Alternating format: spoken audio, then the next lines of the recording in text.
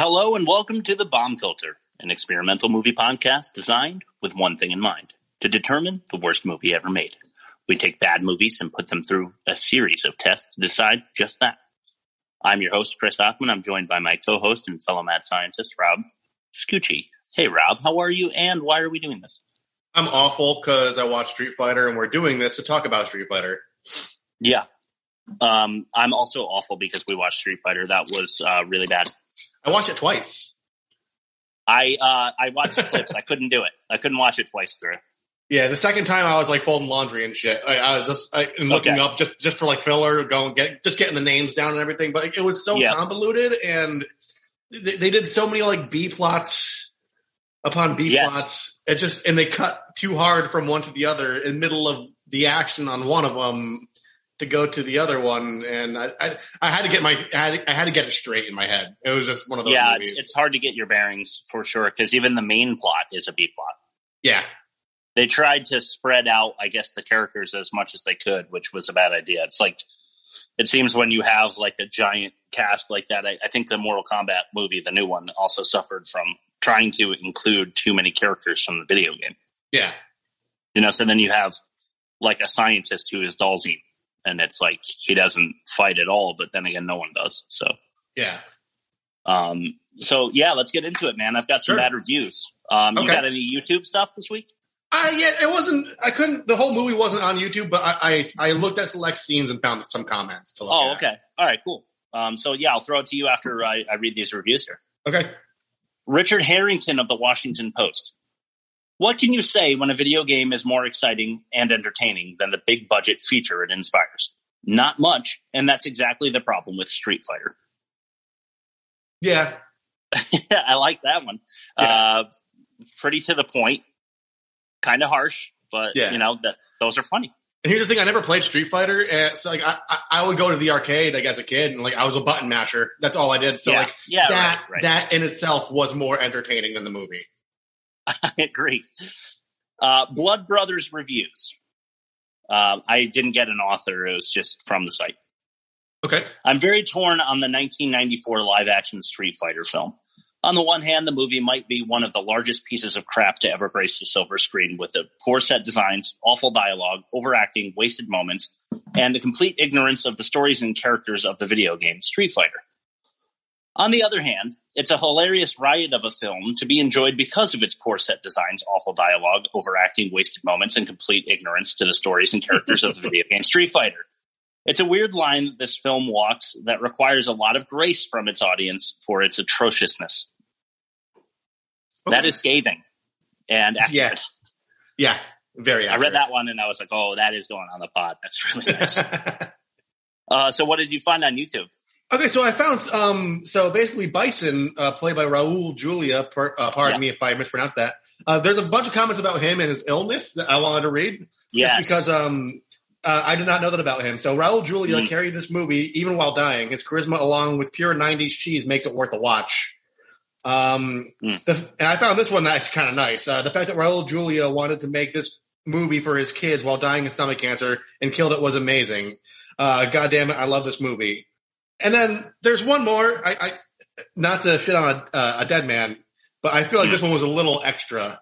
Even frail and dying of stomach cancer, Raul is a towering titan on screen. His voice, his movements, his passion. In a video game movie he was doing for his kids, the man is giving a Shakespearean performance of campy brilliance. If you're watching this movie, you're watching it for him. Uh, rest in peace to one of the truly greatest actors of his generation. okay. And then I Um, got I got one more. Oh, you, want- you Okay, yeah. to, do you have something to add to that? Uh, no, I, I do feel like they were uh, definitely pouring it on there. That yeah, was a little obvious. like I said, YouTube comments are chock full of mental illness.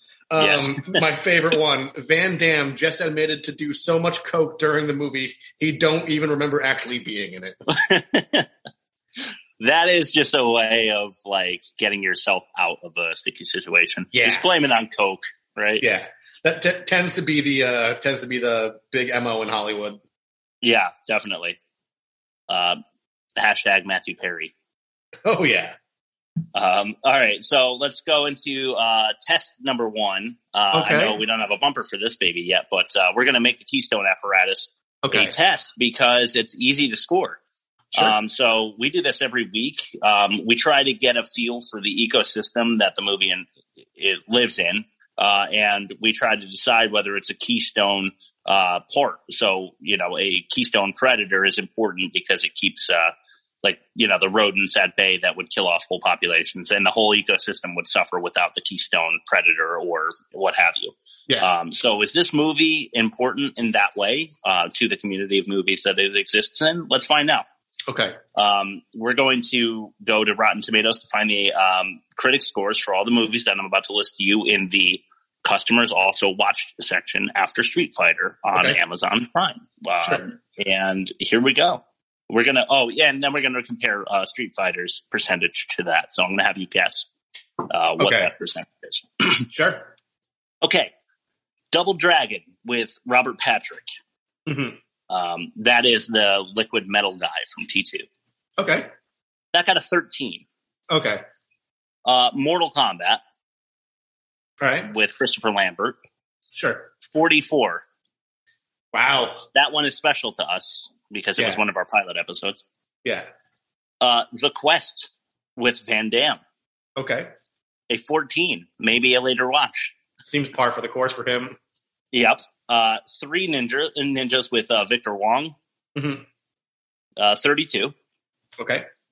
Big Trouble in Little China, Kurt Okay. Russell. Everyone knows that one. Yeah. Got a 75. Okay. DOA, Dead or Alive with Jaime Pressly, Hmm. a 33. Okay. And finally, Masters of the Universe with Dolph Lundgren, Okay. a 13.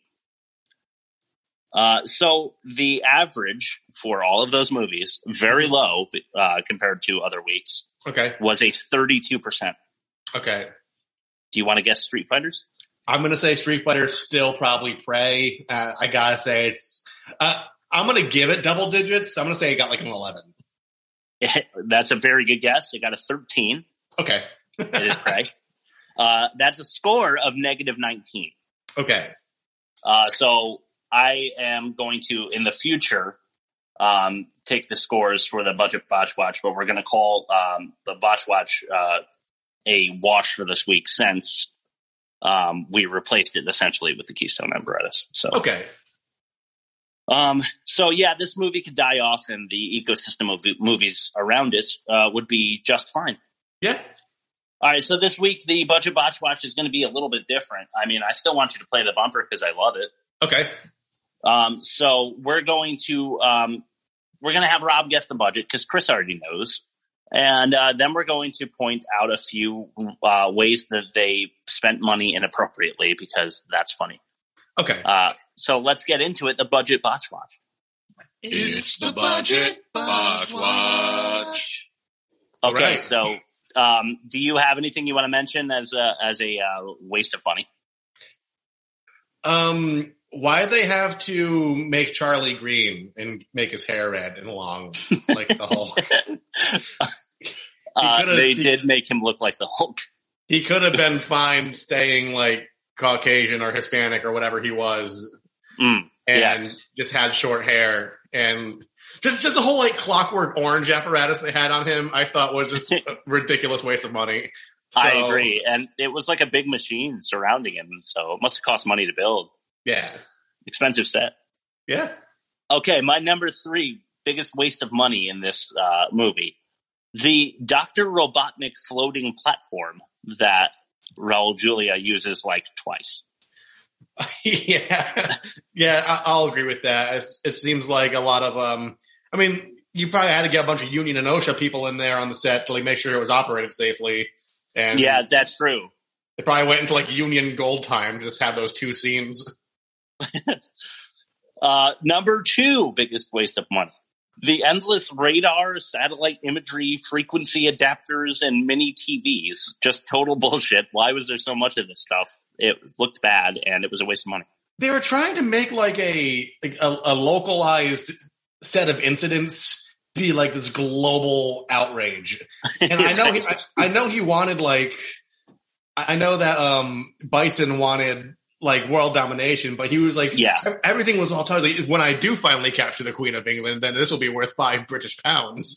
like, so he, Right. the, the guy had no, uh, to throw back to Battlefield Earth, he had no leverage Oh, over nice. anybody. So like, it seems Yeah. like to get like the whole globe involved over what was like an isolated like East Asian faction just seems Yeah, ridiculous. He does need to sit down for a Kurbango with Terl so that Terl can teach him a thing or two about how to leverage your position. Yeah. I agree. Uh, number one most egregious waste of money, in my opinion, was the stupid fucking stealth boat. yeah. Absolutely. The thing that they used for, uh, I don't know, four minutes of the movie and Yeah. was not properly stealthed and was pushing water uh, on either side of it. So even when it was invisible, it was still obvious. Yeah, and you know what really pissed me off about the stealth bomber is, um, I mean, like a boat like that technically should be like be able to start and stop on a dime, turn at like a really quick pivot, and Yeah. they had to have like a bunch of like migrant workers like push it off the dock for its inaugural um, yeah. like- takeoff. yeah, that's a good point. I didn't think about that. But yeah, and, and then it cost extra staff to do that. So it's even Yeah, more uh, of an expenditure. All right. Uh, yeah, I thought that'd be funny to just do it that way. Yeah. So um, let's get into test number two now. okay, Uh, and this is the elevator movie plot pitch. Um, so an easy way to determine the strength of a movie is to summarize its plot succinctly. Um, and the gold standard plot pitch for the bomb filter is Spielberg's Jurassic Park. Short, clear, and easy to understand, Jurassic Park can be accurately summarized in as little as 10 seconds. When summarized, bad movies are convoluted, unclear, and lengthy. So to help us determine how bad our subject is, we compare its plot pitch to that of the 10 second standard. Uh, so any seconds past that 10 is our score. So we'll also administer a star rating uh, for the quality, and that might influence whether or not, um, in this case, Street Fighter wins that category. So let's get into it. Uh, the elevator movie plot pitch. Hey, hey, hey, I, I, I gotta show you my script for this movie that I just came up with. It's, uh, you ever see, um, have you ever seen Top Gun? It's like the guy from Top Gun, but he, he works at a mall. And Okay, so it's a nice he's trying to hand out those little lotion packets as a sample. And he goes, hey, hey, hey, sir, sir, I know you're in a hurry. Would you try that? Never mind, man. So they- they're gone, they're gone. He has- he has run- Okay, um, so he, he's like got the lotion okay. Enough of that. Uh, enough of that noise. I'm going to count you down. Uh, three, two, one, go. Jean Claude Van Damme stars in Street Fighter, the movie, the game in 1995, but only thanks to his success in the role of Guile in Street Fighter, the movie, based on Street Fighter 2, the game. Guile and his allied nations slash American forces must defeat the evil M. Bison, a madman poised to kill hostages in a plot to dominate Earth. I- I'm pretty sure. Guile recruits the help of other Street Fighters, reporters, Samoans, and former boxers to take him down. Will Bison release the hostages? Will he release rapidly genetically modified super soldier Blanka? Or will Guile and his fighting forces bombard and sneak into his facility at the same time in order to defeat him? That's it. Uh, just about 46 seconds. Oh my god. Okay, that's a that's a big score. Yeah. 46 Okay, 46 seconds. I'm going to write that down uh, as a 36, yeah? Yeah. Okay, what do you like uh, for star star rating here? I'm going to give that a two. I mean, it's of no fault of your own. It's just, No. uh, you did your best. You can't, uh, you can polish a turd all you want. It's still a piece of shit.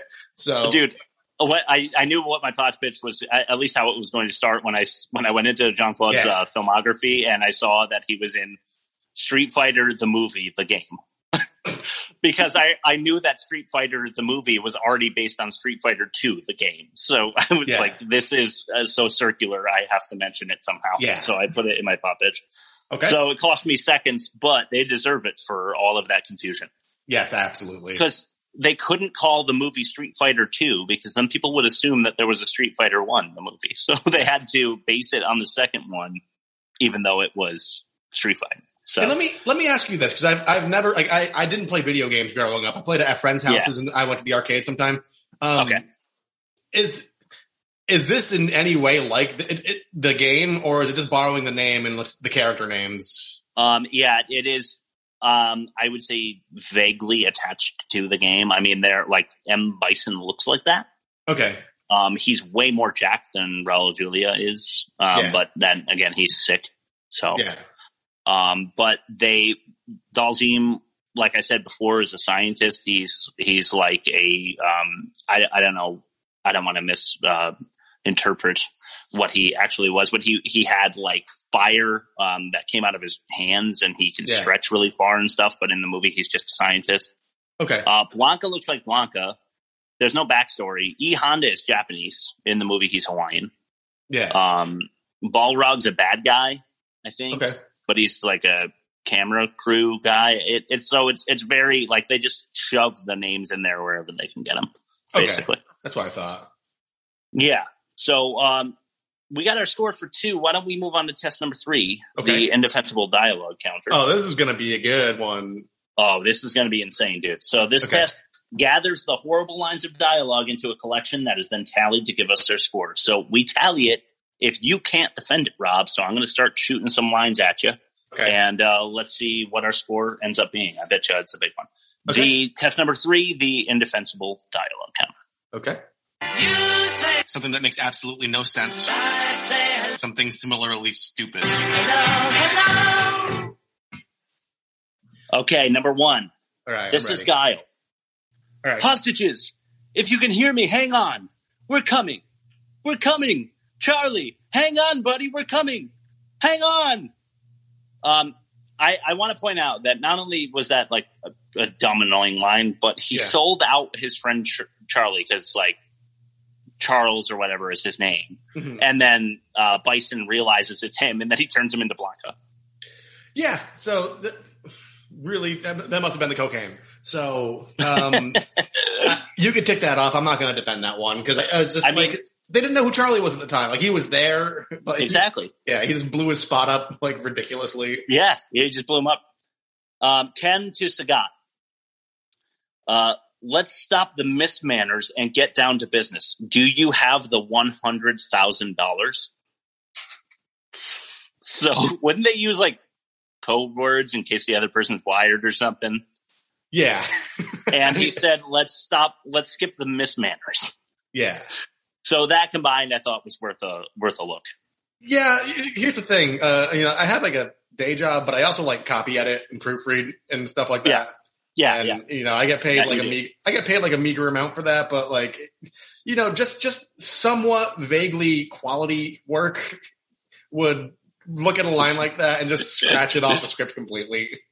yeah. So Yeah. Uh, that's a tick then. Yeah, I'll take that off. All right, that's we're two for two, headed into number three. Uh, Sagat to Ken and Ryu. What's the matter, gentlemen? Surely you're not afraid of your own weapons. And then he fire has everyone fire them, right? Yeah. He goes, toys. I like my games live and in living color. And then everyone attacks. Okay, so this is like a 50-50 for me because uh, you need to establish that they were con men early on, and like that, Yeah. they were that's what they, they wanted. They wanted to get the money, hand on the phone, leave the drop zone, and then like make the deal. So Yeah, yeah. so basically, they then they'd find out it's toys, and and they'd get be already long gone. So I Yeah. understand the need for that scene, but the Yes. whole live and in living color made absolutely no sense. no, no So- sense at all.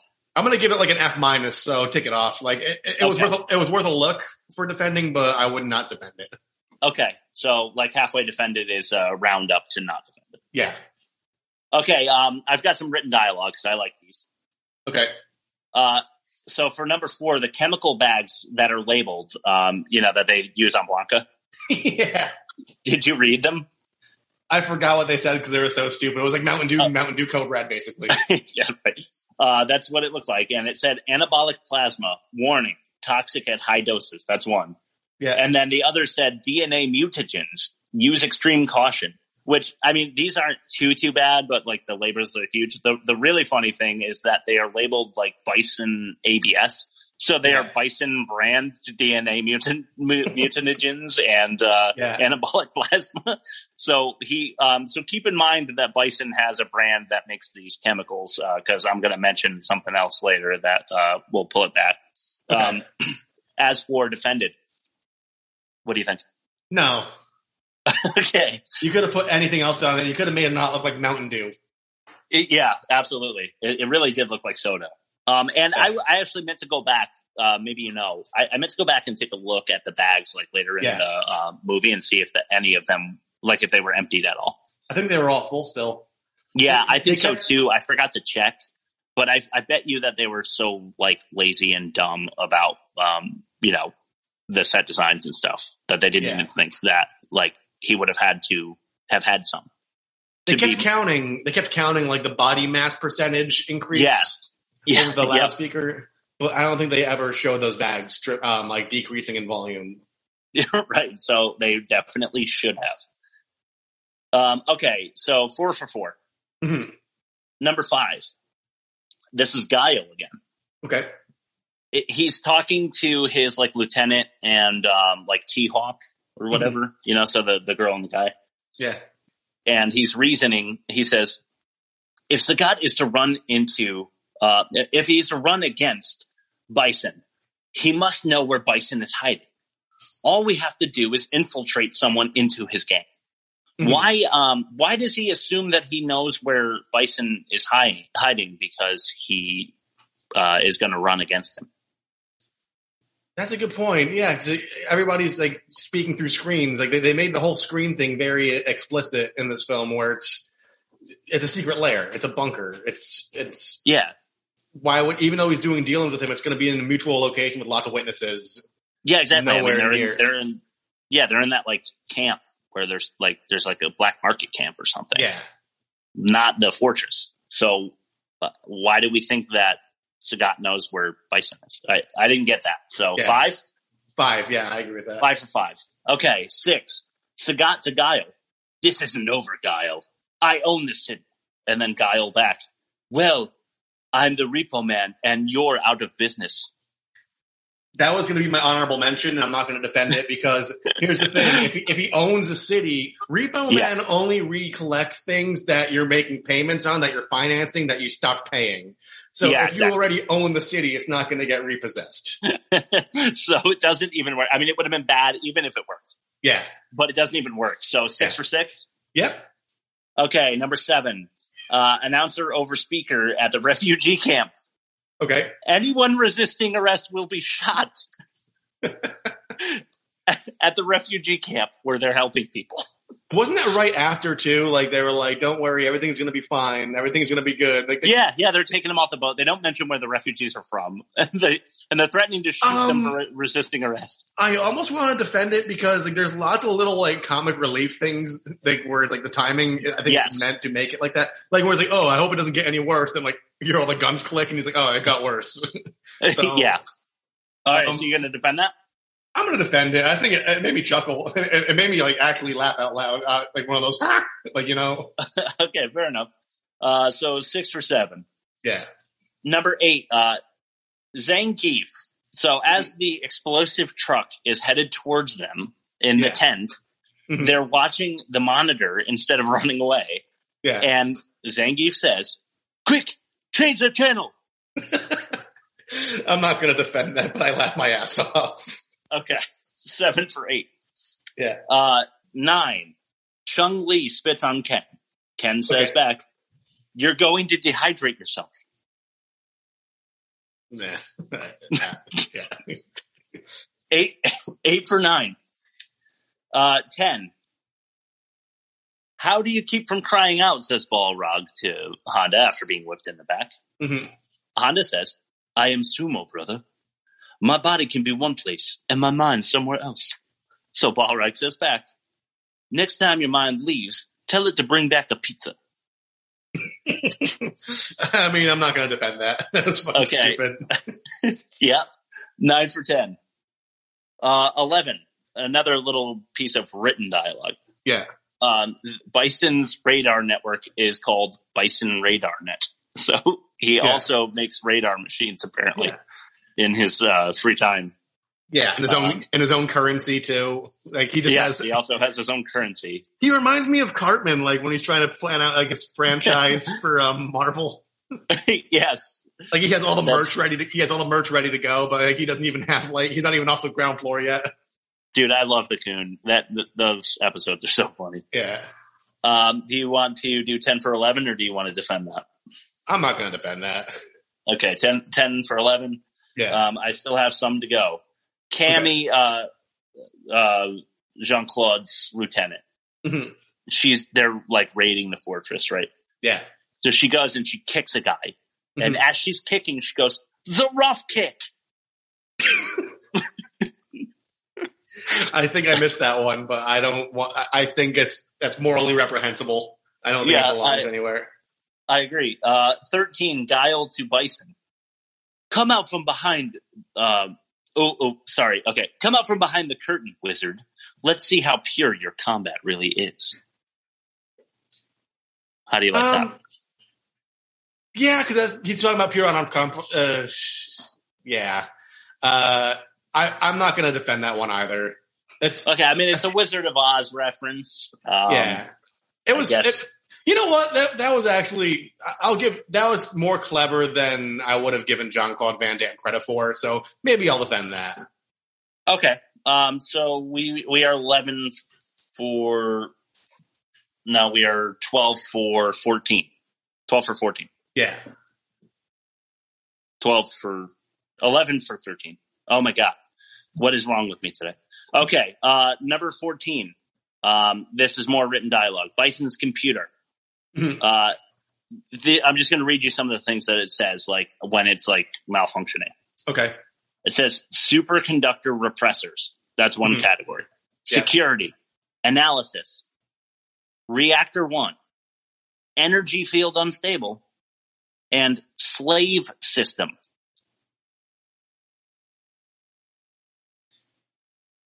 I'm gonna I'm gonna defend it because you know what? It really shows like how his mind works. I think, and for a film that Mhm. really does a poor job in setting up the characterization, I think you need anything you can get, and Okay. I'll give him that. I'll give him that. Okay. So we are 11 for 14 then. Okay. Uh, 15. Uh, so at, you know, at the end, uh, t- uh, Bison's suit like kicks back up, like the very, very, very end. Yeah. Um, it's like an Easter egg. It says to him, Good morning, General Bison. What is your menu choice for today? And then you hear like beep, boop, boop, boop, boop, beep, beep.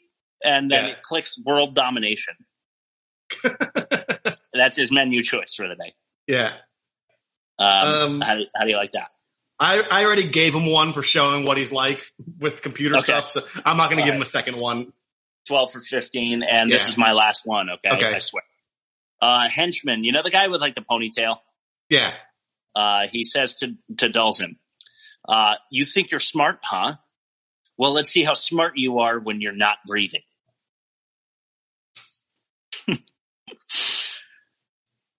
I mean, how many? So, th- someone wrote the script. They gave this to an exec. They wrote a check. They funded it. They got catering. They got people into a room. They did table reads. They they did Yes. dress rehearsals, and that's the best they could do. Yeah. Let's see how smart you are when you're not breathing. No, I don't. Okay. Uh, all right. So final score 13, which I think might be our biggest uh, score so far. okay. So Street Fighter is um, fighting a lot harder than they did in the movie. Yeah. Um, I have an honorable mention. I don't know if you want to take this one off or not. Yeah, But when- sure. What do you got? But when Bison is talking about pa- uh, Pax Bisonica, and he's Yeah. pointing, he's pointing to one of his henchmen. He's like, "Make the food court a little bigger." I think all the major franchises are going to want to get in. so, like, yeah, he- I I do want to tick that off. Yeah, because he's like building a mega mall inside of his like world domination Right, yeah. complex. Right. Oh my god, that's great. Thank you for that. Yeah. Uh, so uh, 14 for 17. 14 is a huge score. Yeah. Um, let's get into the emotometer overspill. Okay. Um, so for this test, we will use another piece of custom equipment we refer to as the emotometer. The emotometer can be fine-tuned to the emotional output of the actor in question. When activated, the meter measures the peak of emotion displayed by the actor in a given scene and compares it to the range of genuine emotion a person would actually display. So 10 cages is the maximum. Uh, cages refer to, of course, our friend, uh, Nicolas Cage. Any more than 10, and we'd record the result. So uh, let's get into it. The emotometer overspill. Okay. You blow a fuse, the time will cut loose. The Emoto meter overspill, where screaming is king.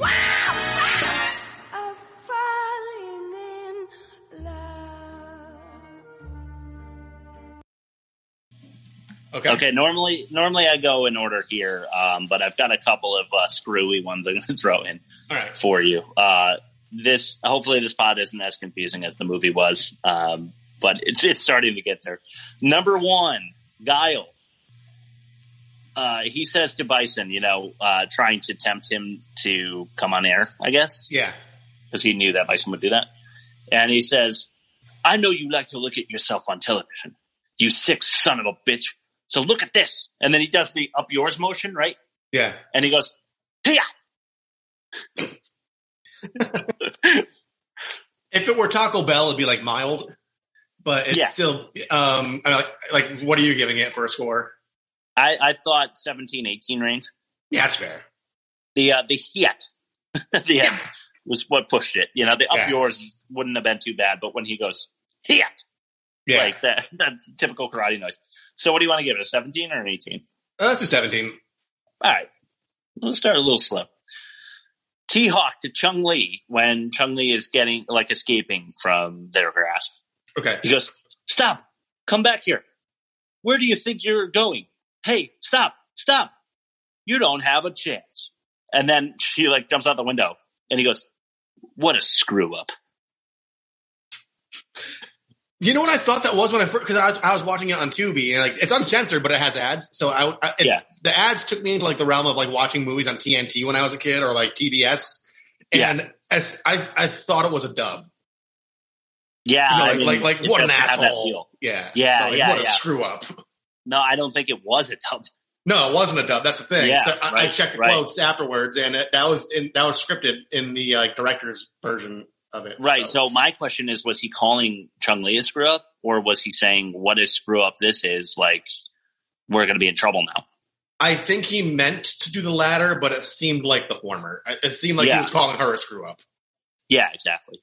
Um, so I, I gave that an 18. Um, it's it's very wordy. It's not what you would say at all. yeah And it was, and he was screaming it like louder than you would. yeah Uh, so so I I mean our emoto meter gave it an 18. Yeah. That's the result that I uh, recorded. Cool. Yeah, 18's work. 18 works. Yeah. Uh, Sagat to Bison. I must have been insane to think I can do business with you, Bison. You raving lunatic. And then he throws Bison dollars into the flames. Yeah. Uh, a 20. Yeah, it's a 20 because he overacted it, but like he didn't even throw it into like an intense fire. It was like a little chiminea. it was like, Yeah. like roasting marshmallows. Uh, all right. So, uh, here's, here's one of the screwy ones that I threw in there. You know how sometimes I like to mention one, uh, underacting? yeah. Uh, do you remember Captain Sawada? He, he's the guy. Hmm. Um, well, I'll give you the line. I'm sure you'll remember him. Okay. Uh, so Guile is explaining how he's going to be the lone pilot. Like he hasn't revealed that it's going to be him yet, but he's like a lone pilot needs to go up the river Yeah. to the back of the temple or fortress or whatever. And then uh, Captain Sawada stands up and he goes, "Colonel, a single boat against everything he's got, the pilot would have to be out of his mind." Yeah. Uh, I gave it a negative eight. Yeah. That's fair. I mean, the emotometer did. that's, yeah. That's one of those, no, don't go. You'll freeze to death. yeah, exactly. So, Sonia, don't get on the boat. Hey, Sonia. hey, hey. No. right, exactly. Uh, really bad acting. Uh, not overacting though. Yeah. Just like such a flat performance. Mhm. All right, uh, number five, and we're starting to ramp up a little bit here. This is Guile.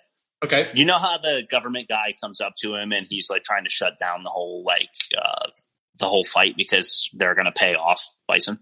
Yeah, the guy with the glasses, four eyes. Yeah, yeah, yeah. Yeah. Yep. Uh, so Guile says twenty billion dollars.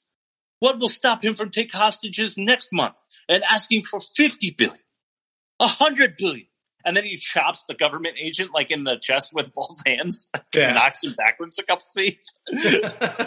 Uh, why are you fighting him now? yeah.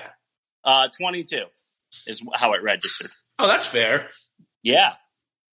Uh, so Guile again, right? Okay, and this this uh, is going to take me a minute, but I think it's worth it, right? Yeah. The war is canceled. We can all go home. Meanwhile, ideals like peace, freedom, and justin, justice, they just get packed up. But we can all go home. Well, I am not going home. I'm going to get on my boat and I'm going up river and I'm going to kick that son of a bitch Bison's ass so hard that next time Bison want, w- the next Bison wannabe is going to feel it. Now, who wants to go home? And who wants to come with me? that registered as a 23. That's fair. Just the, the next guy is going to feel it. I didn't understand, like, Yeah. The next Bison wannabe is going to feel it. But not to mention that he says, I'm going up Reaver. And Yeah. he says he's going to kick his ass so hard. Yeah. the, the with me at the end, also totally over the top. I just don't think Jean Claude's good. um, there's one of the YouTube comments I didn't bring in. I didn't, I didn't screenshot it or anything, but yeah. they were just like, he's an American with a Scandinavian accent who also Yes. sounds. Like he, he, it sounded like he was trying to method act as like a bunch of different nationalities at once. And Yeah. Yeah. All right. That's so like a stew. yeah, and just missed the He mark like took the melting all of them. pot. He took the melting pot thing a little seriously. Yeah. All right. Uh, number seven, I'm going back to Captain Sawada just for fun. Okay. Um, so Guile says to him that he's like going up the back uh, and that he'll be there in a minute. And then Sawada says, We'll be there, Colonel. Just save some for us. And then turns to his men and he says, Formation attack. just like just like that, I swear to God. Yeah. Uh, No, I another remember- negative eight. Yeah. There's a lot Um, of that in this movie. yeah, really, that, that guy, I just couldn't get over how bad he was.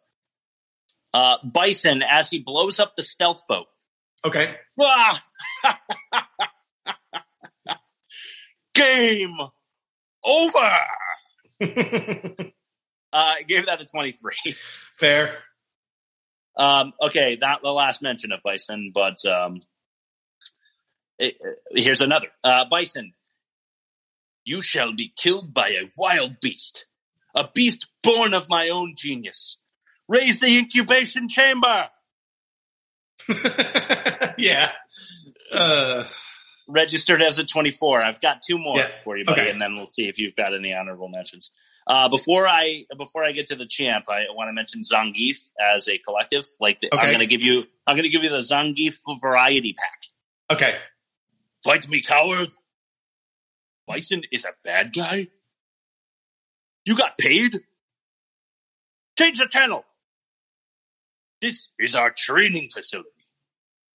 He was a brave man, a true hero. that was just some of his uh, some of his work there. Uh, I gave him a 24, uh, Yeah. equal to Bison's incubation chamber line. Overall, yeah, because he was because he he would say something and then I forget the other guy. Um, he it, oh, DJ. there'd always be yeah, it'd always be a slow turn and a slow stare. Like, are you fucking stupid? yeah, And so So I, I, they were definitely trying to convey that he. yeah, Okay. Uh, so uh, our our champion, the the one who registered the highest uh, score on our Emoto meter this week, Rob, as you Yeah. know, is is Bison. okay, Uh, and the scene that you might remember at the end where he is fighting Guile, he says, You still refuse to accept my godhood? Keep your own God. In fact, this might be a good time to pray to him. For I beheld Satan as he he- fell from heaven like lightning. That got a 20. That got a 27. it was just like trying to be biblical and yeah. like I don't know I don't know who read this who fucking approved the script. I think what happened was like. It, Street Fighter was Konami Productions, right? It was like um Yeah, Capcom, I think. Capcom, right? Yeah. Yeah, Konami. Yeah, one of the, yeah, Capcom. I think you're right, but it's like Yeah. I feel like I feel like Universal just bought the the licensing for it, and just jammed this thing through the machine and got it out as quickly as possible without Yeah, any focus groups or anything because it's just Awful. not good. not good. Uh, any honorable mentions before uh, we get into the Ask Championship of the week? Um, I'm trying to think. Um, just just Bison shooting lightning like an asshole. yeah, that's. uh, I don't know exactly what he said, but let's let's go with ah, ha ha ha ha ha Yeah, as he's shooting lightning because it was probably that. yeah, sounds about right. Okay, uh, dude, let's get into it. Maybe my favorite part of the, the show, uh, Okay, our full on Ass Cheek Championship of the week. okay. Ladies and gentlemen, let's get ready to ask cheek!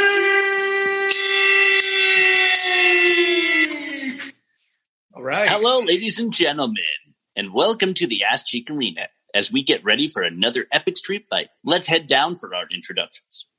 Your challenger, standing at a very tall six foot four, weighing in at an even 200 pounds from Shadaloo City, Shadaloo, M. Bison. And the crowd is booing heavily here. And standing at six feet, weighing in at 238 pounds this week, from Long Beach, California, your reigning, defending, full on as champion of the world, Nicolas Cage. All right. Bison and Cage are monologuing at each other to start, but I don't think either is getting the message. Cage has given himself permission to attack as he is diving straight at Bison. Bison, though, ducks out of the way and into a secret chamber hidden here at Ass Cheek Arena. He hits the gas button, but we're in an outdoor stadium, so Cage is going to be just fine. Oh, this is awkward as Bison is forced to come back out of the cell. He is mean mugging in an attempt to keep up the im- intimidation, however. Cage, now feeling froggy, leaps forward and the two are tangled up.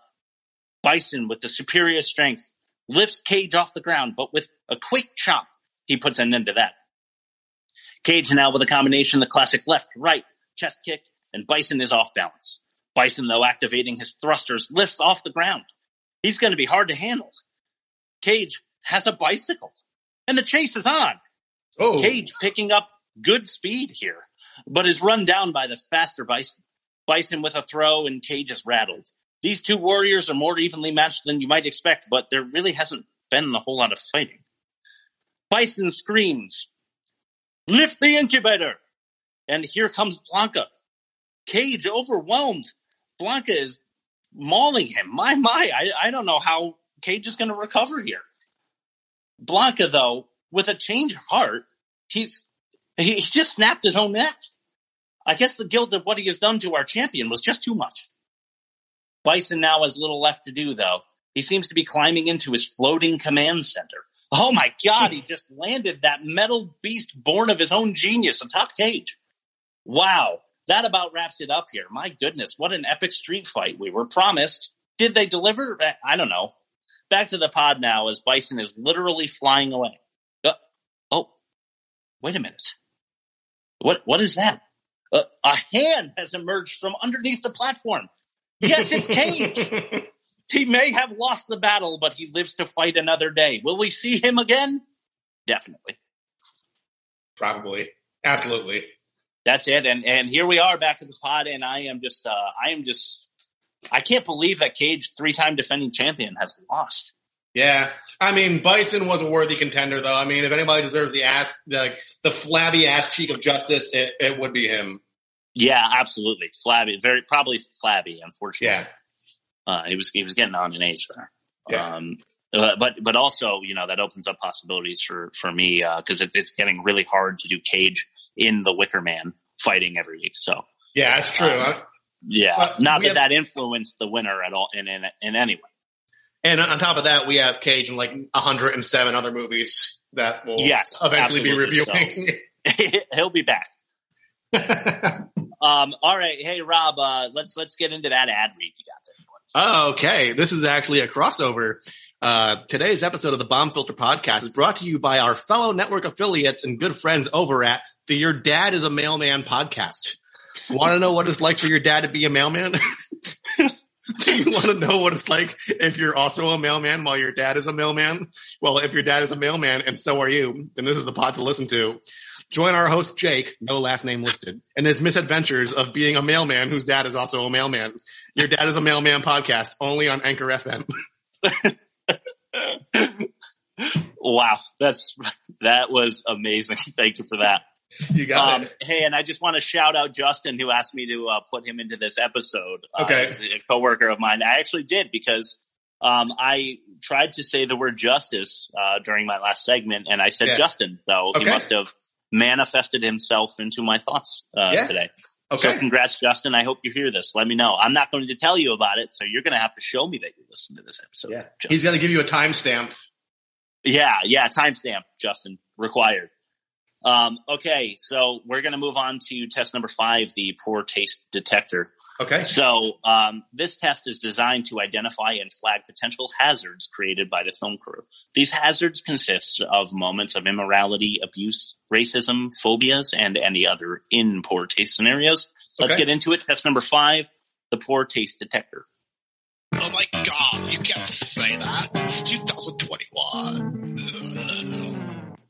Let's do All it. right. Nice. Um, okay, Sagat um, offers Ken and Ryu drinks and women. So prostitution right off the bat. Okay. Um, number two.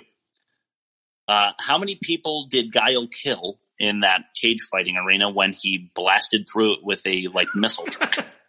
Yeah, he just drove through the boxing ring in the audience, and then Yeah, he- had the audacity to say, "Like, oh, you're all under arrest." yeah, right. Not to check, you know, he decided not to check uh, how many people he might have run over. Yeah. Um, all right. Uh, the number three, the Iraqi black market Christmas blowout sale at Bison's camp.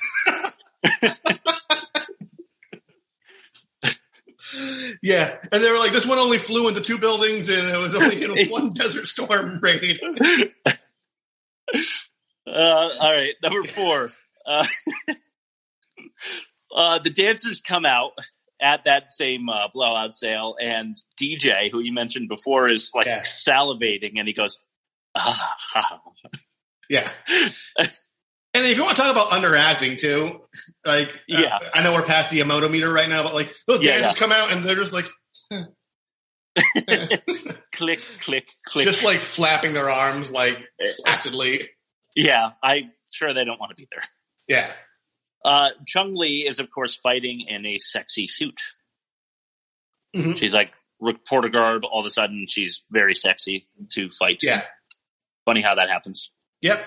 Uh, number six, um, take the reporter to my chambers. We have decided to grant her a private interview. That Yeah. Bison there uh, felt pretty rapey. And that's that's when he was changing in front of her like Mr. Rogers, right? That- he immediately does that after.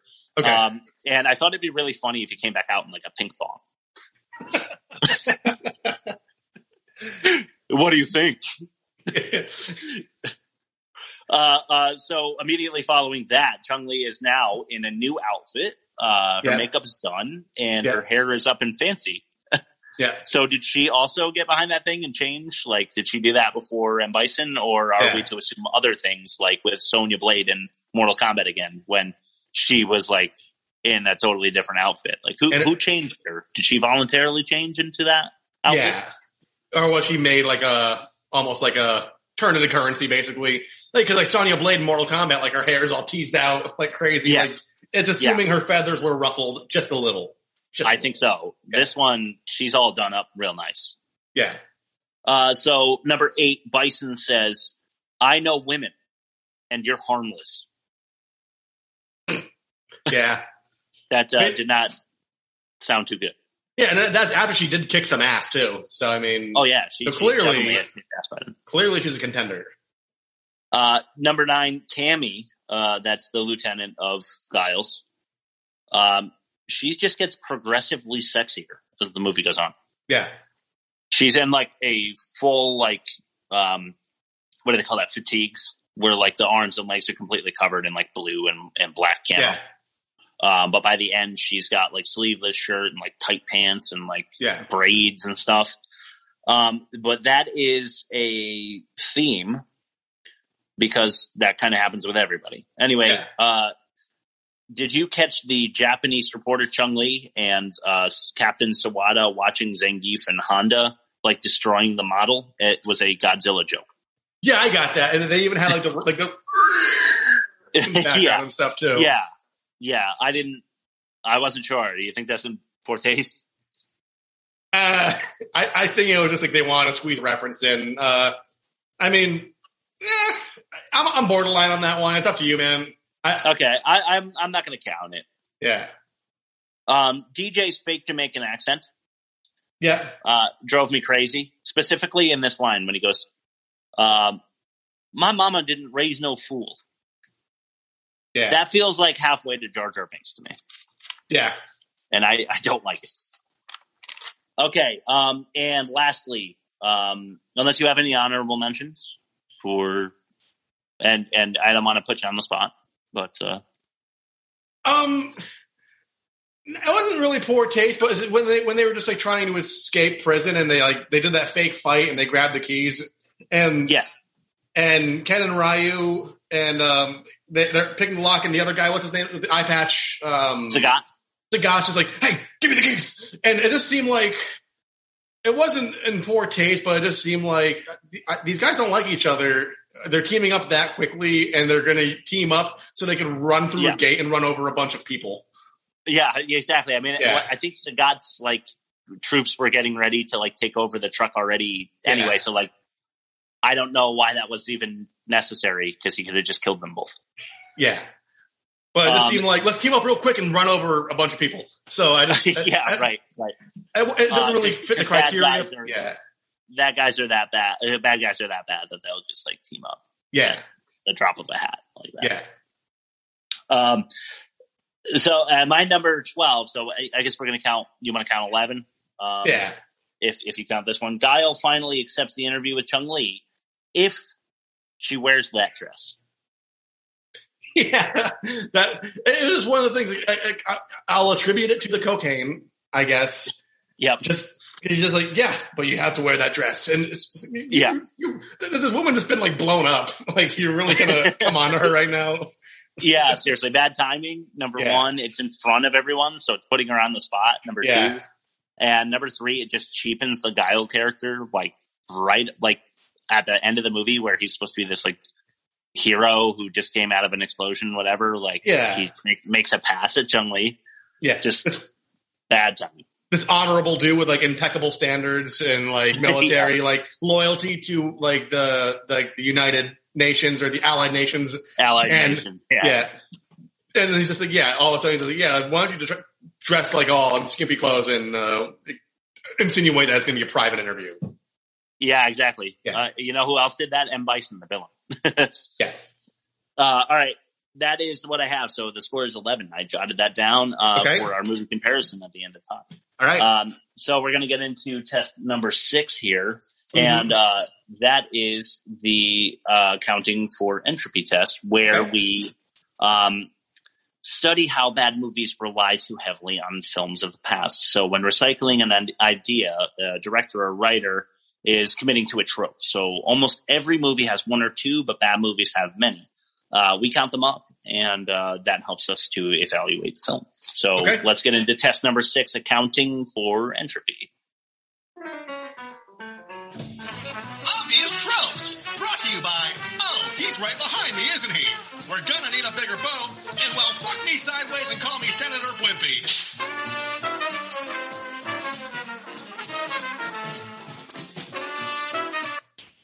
All right. Okay, uh, starting with number one, the news, uh, the world news rundown. So right when it starts, you get um, up to speed with a news Yeah. report. Okay. Uh, number two, the one hundred thousand dollars in a briefcase. Yeah. Uh, number three, Ken and Ryu synchronized fighting. Yeah. So somehow that makes them more credible, I guess, because they both do a, like a hip toss and like a kick throw or whatever at the same time. Yeah. number four, the eyeball download of info you mentioned before with Blanka. Yeah. The- we the- saw this in Battlefield Earth. You see it, uh, The Matrix, which I love, by the way. Yeah. You know, just uh, maybe not an eyeball download, but the immediate download of information. In this case, uh, through the eyeball. Yeah, and I think that originated with Stanley Kubrick's Clockwork Orange, where they're Yeah, um, yeah, I think they're right. brainwashing Alex to make him like not evil anymore. Yeah, exactly. Yeah, Um, so five, I had tearaway clothes. So it's just a stupid little thing, but Ryu is in the cage about to not fight. yeah, And, uh, like a girl comes by and just rips his clothes off. Like, why are his clothes that detachable that a girl can just come up behind you and rip them off? yeah. The whole third act was like, oh man, we're, we got to take down all these henchmen. Ooh, better take our shirts off first. And yeah, exactly. everybody's shirtless, And Uh, oiled. Number six. Go ahead. Sorry. Shirtless and oiled. Yeah, of course. Of course. Uh, number six. Uh, this you mentioned also. Uh, keys from the guard after a like distraction fight. yeah. That shit happens all the time, dude. hmm Number seven, the he's not dead jump scare. A scare.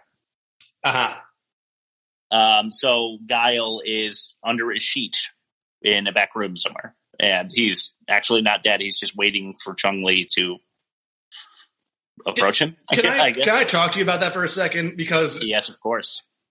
I mean, like he wasn't even necessarily waiting for her. He did, like she she was going to No. find him. So like if, if you look at it from like the fourth wall perspective, he's Yep. just a guy laying in a room by himself for hours, just pretending to be dead, still With a still, sheet over his head. still wearing the thing to so, so he could say, "Oh, it was a decoy." so like and it's just in case, just in And it's- case. and it's ice cold in there. It's like Yeah. a morgue room. Yeah, So maybe that's why he kept the sheet on, I guess. yeah. But like, it makes no sense for the character or the movie, or like, hey, why, why would he just be laying there just in case she comes in to see if he's still there? It makes absolutely no sense. Yeah. Um, okay. So number eight, the day Bison visits uh, you is the best day of your life or whatever. Yeah. But for me, it's Tuesday, says Bison. that is so overdone. Yeah. Uh, number nine, the villain's lair is also a gas chamber. Yeah. So he can escape and then leave you in there to die by knockout gas or whatever. Yeah. Um, did you like Bison's uh, Swiss bank account all of a sudden? Yeah. This it's, it's so insulting. To the, like, Yes, make sure you is. wire it to my Swiss bank account. Like, why? Yeah, because they realized like like where they one it's not Bison dollars, so what's it going to be worth? What's it going to be worth when he dominates the earth? Yeah. Uh, but two, like where are they going to have him like get a wire transfer? It's always a Swiss bank account. and always, or yeah, or offshore or whatever. But like, it's, it's Yeah, right, insulting. yeah, yeah. It's insulting to the audience because like we don't don't you think we already know that we've seen enough of these movies. We're the type of person to watch this type of movie. Like you could have just said, "Where's the money?" Like you could have just chopped that whole like mention of it out. It's very very true. This movie didn't care about your uh, level of intelligence. They probably Yeah. assumed that you aren't too smart if you're watching it, which is bullshit because a lot of gamers are very smart. Yes. And a lot of gamers are going to watch your movie. Yeah. Um, number 11, and this is one we mentioned on a number of movies already, but the Okay. Stormtrooper trope. Yeah.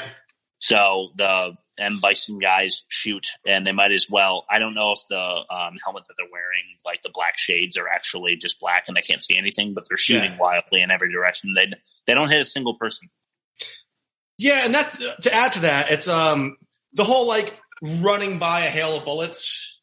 Yeah, It's, yeah. Okay, so let's make that another one. Yeah. Just because like You're right. because Guile should have been fucking riddled with lead by th- by the end of that scene. Like with all that metal, like you're you're, you're telling me not a single ricochet would have ping, just like knocked him in the Oh, yeah. arm or grazed him Oh, or anything. No doubt about it. Yeah, Um, okay, so yeah, so we'll we'll add that on at the end there. Um, number twelve, when you land on a, an electrical panel, apparently you get electrocuted to death. yeah, So like he lands, like Bison lands on his uh, control center, yeah, and and some for some reason his body weight, I guess, was enough to short circuit the Yeah. panel, but also expose some kind of wiring or something that was attached to his clothes somehow. So it yeah, because the suit was mechanical in some way. I don't know, but yeah. like just landing on electrical equipment in bad movies, um, Yeah. you get electrocuted to death. Yeah, like if I were to pass out on top of my laptop right now, I'm not going to die. I, I don't think so. Have you have you done that? Have you passed out on your laptop? Uh, not in recent years, but it's it's it's happened. Okay, I just thought it'd be funny. just thought it'd be a funny little tidbit. Um, okay, the, the of course this is a zero hour self destruction. Yeah. Has every movie had one? Uh, let's see. Armageddon had one. Yeah. W- Wicker Man didn't. I mean, there was a countdown, but it wasn't like they didn't like show the clock. Yeah, you're right. Yeah, no zero hour. Yeah. What was the Uh, third movie? Waterworld did. Waterworld. Yeah, it did. The and cage. then over the top did because he had lost one arm wrestling match, out of the two double Uh, eliminations, so he had to, he had no choice but to win that one. So Yeah. like we kind of sort of counted that as zero hour, same kind of tension build. yeah, Uh, so we'll say three out of the four so far, four out of five with this one. yeah. Oh wait, yeah, yeah, four out of five. Yep. Okay. Um, number fourteen, uh, Guile actually survived at the end after you thought he died. It's like the Yeah. Indiana Jones like drives a tank off a cliff, but he actually caught himself. And Yeah. when everybody thinks he's dead, Indy shows back up. So same Yep. same deal here. Uh, number fifteen. Uh, at the very end, that Easter egg when Bison's hand comes shooting out of the debris that I Yeah. I decided to also use for the fight script for the Fallen SG Championship. Okay. Um, that is something you see all the time. Yep.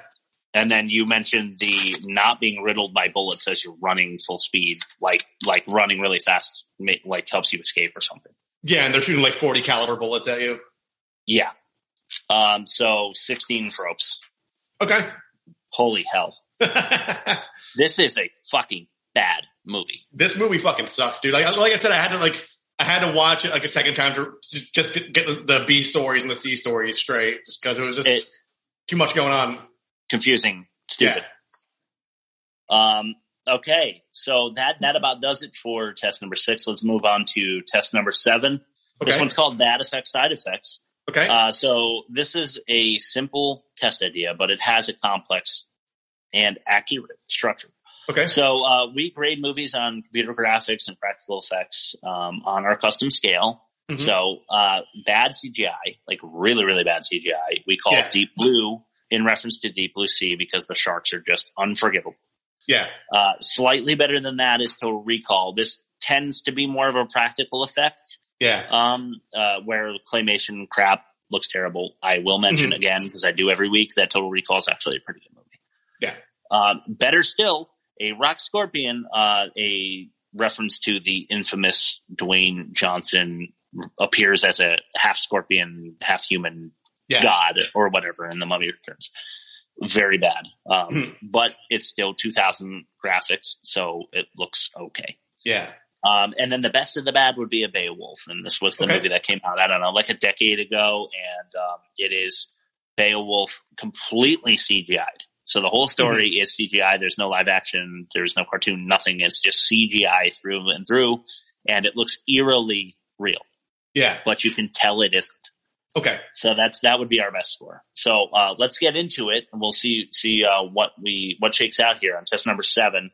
Bad effects, side effects. Okay.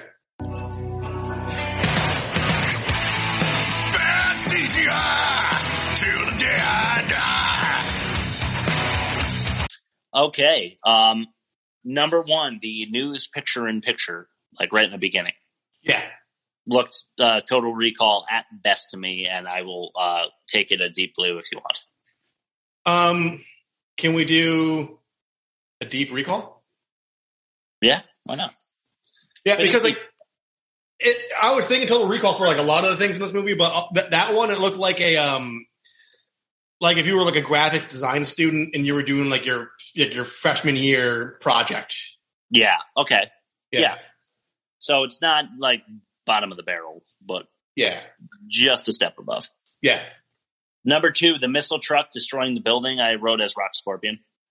Okay, fair. Look, looked pretty, pretty believable. Yeah, Um, I don't know if they made any dummies like explode, like any any of the people that he ran over. I didn't catch any of that. Like odds are, odds are he they did drive a truck through a thing, but the thing was probably a facade. Like, it, Yeah, wasn't. like- it wasn't like uh, over the top where I think he actually drove through a gate. I think it was Yeah, probably a lot of like particle board and shit. Yeah, exactly. Yeah, Foam and particle board and yeah. water and stuff like that. Um, number three. Okay, this drove me crazy. Okay. Uh, you know, they did a close up on the snake tattoos. Yeah. Those were Sharpie. Yeah. Like, so obviously Sharpie. That's a deep blue. It wasn't even henna. They could have done a henna tattoo No. or something. Yeah, exactly. It, Yeah. it was, it, that was insulting. Yeah. Uh, number four, the satellite truck graphics, also deep blue. Yeah. Really bad. Um, okay, number five, you mentioned this. Uh, ketchup packets on cardboard. Yes.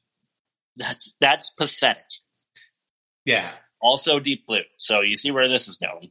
hmm Um, I actually thought the explosions were Rock Scorpion, like the building and stuff. I think they did blow Yeah. some stat up, you know? Yeah. So, um, Blanka looks fucking stupid.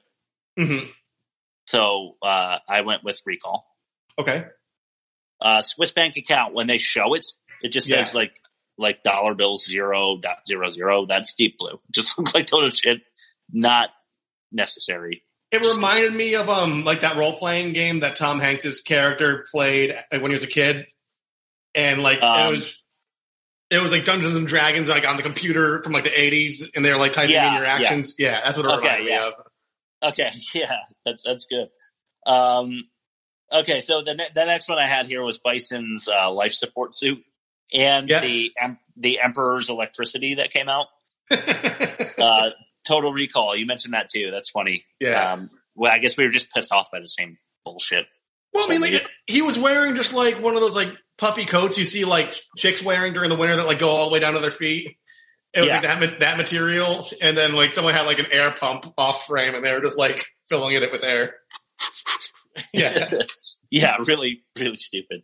Um, and then lastly, um, Bison was so obviously on a wire. Yeah. Like when he flew, he only flew directly at him and on like a pendulum sort of swing. So Yeah. eh, um, that was deep blue as well. Um, Mhm. So uh, upon reflection, we have um, a deep recall, a rock scorpion, a deep blue, a deep blue, a deep blue, a rock scorpion, a recall, a deep blue, a total re- a recall again, and a deep blue. So I'm thinking this is a, a deep recall if you'll allow it, and that's being generous. I, I think, yeah, I think the recall is generous because if we went with majority rule, it'd be deep blue. But Yeah. I, just give him give him a fighting chance. Yeah, because I, I don't want this to be the worst movie ever made forever. Yeah, um, okay, man. So we'll do uh, logical consistency, inconsistencies, and then we'll get into your review. Cool. Uh, we'll go over bad credit names, compare these movies. Then we'll talk about what we're going to watch next week, and, and we're sounds out. good. Yeah, Okay, cool. Um, so is Chun-Li a reporter? Um, did she, Honda, and Balrog all learn how to run a news truck uh, in order to get close to Bison? Because they're all Yeah. actually fighters with vendettas, right? yeah. Uh, so that's stupid. hmm Uh, Guile wants to, um, so Guile wants the lowdown on Ken and Ryu at the prison, right? Yeah, And Sawada um, just happens to have their files in his hands. yeah. Who are those guys? Oh, two Uh, folders. right. bang, bang. That's Ken and Ryu. Um, okay, Vega made his claws, um, like the, the claws with like little hooks on the end, looks like dinosaur bones, yeah, out of bamboo Mhm. while he was in prison. yeah, like they're in the prison yard for a half a day and he's got these like makeshift bamboo claws with dinosaur claws on it. that was like their equivalent of like making a shank out of a toothbrush for him. It was just a quick makeshift Yeah. weapon for jail. Yeah, somehow. I how the hell he did that I'll never know. But um hey, why why did they uh why didn't they just wait until the truck was like a mile down the road before they tried the escape attempt instead of trying to escape in front of all the guards? It would have been a lot less guns if they did that. Yep, that's Yeah. true. Um were the medics in on the fake death scheme? because they come rushing over and declare uh Guile dead. Yeah, they declared him dead. They checked his pulse and declared him dead, so they had to have been in on it. But I don't Yeah. think they were in on it. but they definitely weren't in on it. Um, yeah, Also, did Ken have to precisely shoot those ketchup packets because he didn't have a fake gun? yeah. It's reminding me of um. It's reminding me of uh, Dumb and Dumber when they're like, "What if they shot me in the head?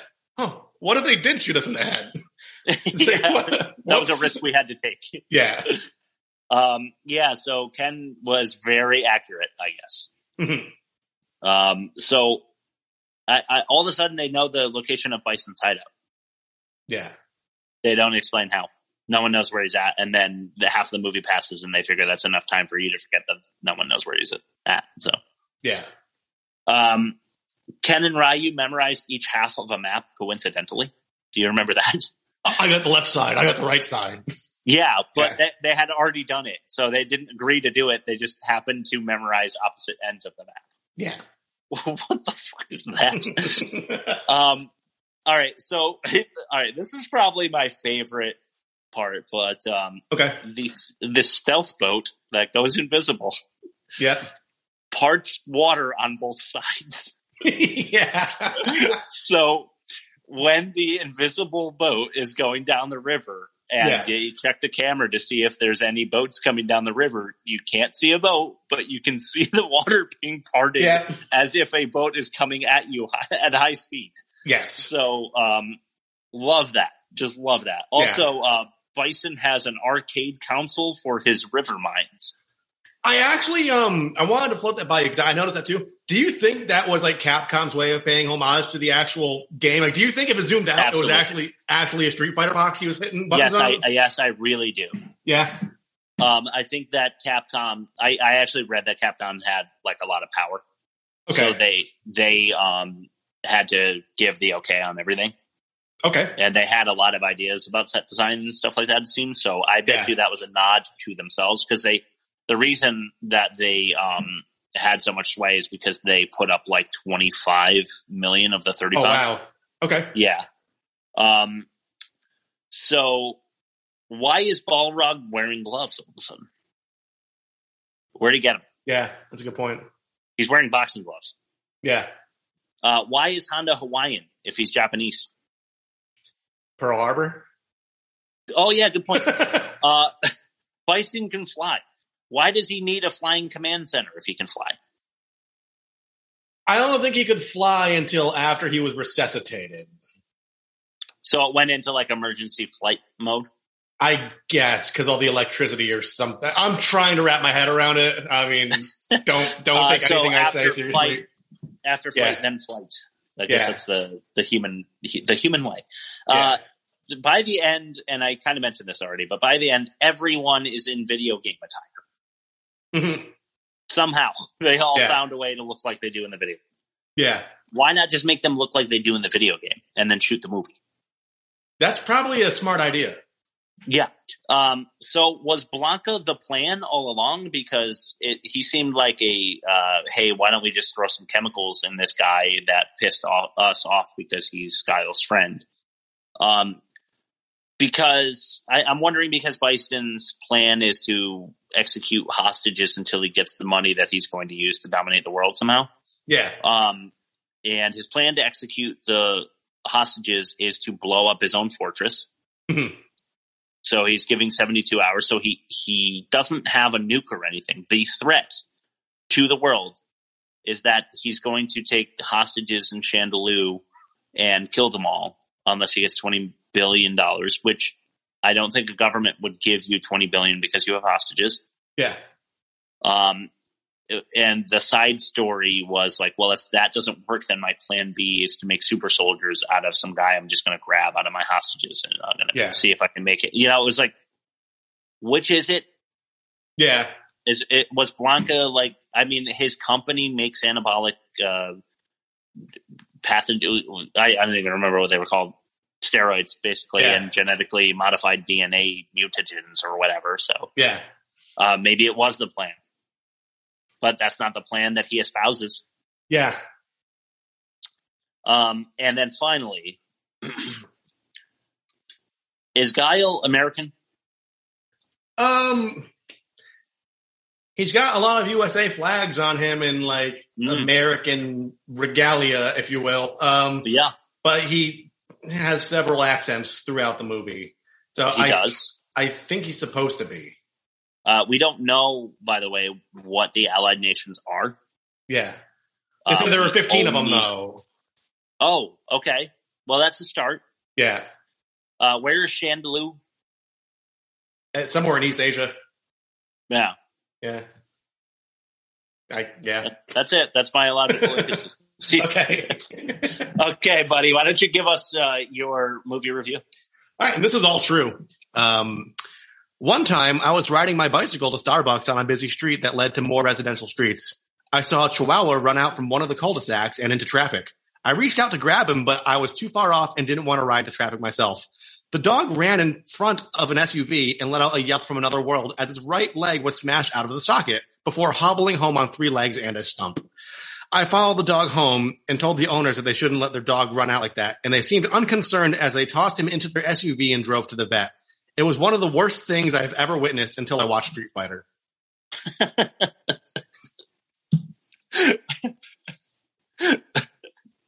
I was wondering where you were going with that, and now I see. Uh, Yeah. Okay, stellar review. Uh, Yeah. That uh, that might as well have been an, an Ebert. Yeah. Uh, well done, sir. Thank you. Uh, okay, let's get into the bad credit names. okay. I love this. Um, so I have a bunch. Uh, number one, and this is personal, so I made it number one. Matt Slattery. We know one. Yeah. Yeah. Hey, Matt. How you doing? I hope you're listening. Hey. Um, probably not him because I don't think he was on the crew of Street Fighter when he was When he was- six in Yeah, Taiwan. sixer. Um, two, Reg Garside, okay. kind of cool. Yeah. Number three, Gregory Shimp. I like it. Uh, number four, Jules Worm.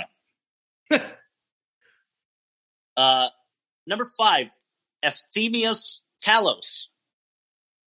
That's actually a cool name. I like that name. That's kind of cool. Yeah. Number six, Beverly Penis.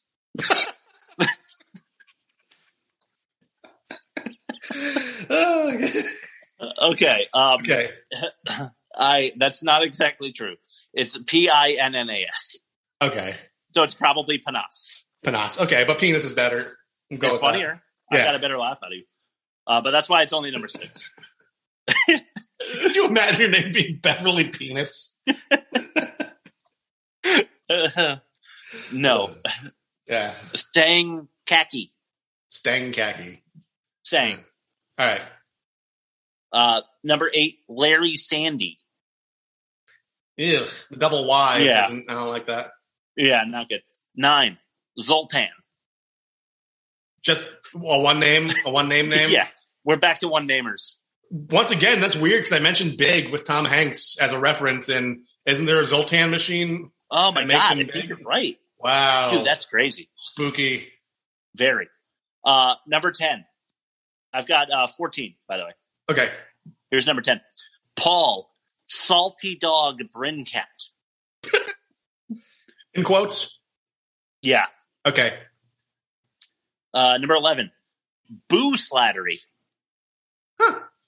Maybe B- Matt's brother or sister. B O O or B E A U? B O O. Like Wow. Boo Spooky. Yeah. Spooky again. Uh, number 12. Gallon, Buffy, Good Pastor.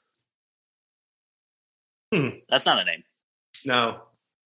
That's a bunch of things put together. yes, it is. Number 13. Tippawan Mamamini. A Tippawan Mamani. Mamony. Mamani. Tippawan Mamani. And lastly, Mhm. number 14. Grand L. Bush. Grand L. Bush. That's Yeah. one of the better ones we've heard so far, I think. Uh, yeah, it's it's um, it doesn't have a, a huge punch, but if you break it down, uh, it's in, it insinuates that you are something. Yeah. Anyway, um, that's it. Let's do the comp- uh, comparison between the two movies, and uh, we will then talk about what we're going to get into for ne- next week's, and and then any announcements we might have. Okay. Um, so we ditched the botch watch as a test, so we're not going to go into that um, until next week because we have the Keystone apparatus score of a uh, negative nineteen percent for Street Fighter, uh, Okay. but we're not going to count that against Waterworld. All right. Plot pitch: um, a three and a half star, twenty seven for Mhm. Waterworld. Okay. Um, That's kind of a lot of seconds, but it's pretty good. Pretty good star rating. You gave it a two, Street Fighter, Yeah. and it was 36 seconds past our 10 second standard. okay. Uh, so tick one off for Street Fighter. Yeah. Indefensible dialogue counter. Uh, six for Waterworld. Okay. 14 for Street Fighter. This movie really did fucking suck. Unbelievable. There's so many lines I could have put in there that I did. yeah. Uh, the emotometer overspill. Waterworld um, had a 22. I think it was Helen. Okay. Uh, and Bison gave us a 27 here. So another tick, tick another box. Poor taste detector. This uh, Waterworld's trying. They're trying here. Yeah. 10. Score 10. Okay. Street Fighter says, nah, I'm not having that. They got an 11. Okay. Tropes. Waterworld was our tropiest movie to date. Yeah. Street Fighter wipes the floor with a 16. Okay. Bad effects. Waterworlds were pretty good. We gave it a Rock Scorpion. It's Yeah. a pretty good score. Street Fighter got a goddamn deep recall. A deep recall. Street Fighter won every single category and is now very clearly the worst movie ever made. And good God, who's going to fight back? They earned it, man. They earned it. They did. They did. And I wanted to mention that Bison is our new full on ass cheek champion. Okay. So next week, whoever it is, um, it's going to have to be someone from Suicide Squad. Suicide Squad. Uh, that is, I have you seen Suicide Squad? Is that Marvel or DC? It's DC. I haven't seen anything in the Marvel universe at all, period. And I've Wow. only, in DC, I've only seen Man of Steel. Okay. So I've not seen Suicide Squad. Um, well, you're in for not a treat at all because it's terrible. I know Jared Leto Really acts weird. like a fucking dick, right? The entire time? Uh, he, yeah, he's he's bad. He's very Okay. bad. I, I don't know if it's his fault. Um, but I don't have a whole lot of experience with uh, Leto. I, I like Yeah. uh, Fight Club, but he's a very minor role in Fight Club. yeah. Um, and from what I can tell in this movie, uh, he is overrated because Suicide Okay. Squad. Uh, you'll see. It's Okay. it's atrocious. I, I um I'll be surprised to see it beat out Street Fighter, but I did really hate it. Okay. Um, Street Fighter at least had that camp to it that that I kind of enjoyed, and I think you'll find that Suicide Squad. I'm not going to be as jolly okay. in my review. Um, Alright. So so we'll see what you think of it. I'm excited for you to see it for the first time. Okay. Uh, and do you have anything that you want to announce or say or um, yes. So as you know, we are on Anchor FM and Spotify. Um, we also got on Pocket Cast, Google Podcasts. Um, uh, I'm working on iTunes and I am working on YouTube. So we Yeah. will be available in a lot of places. Uh, some of it I I have to do manually just because just this is the way the cookie crumbles right now.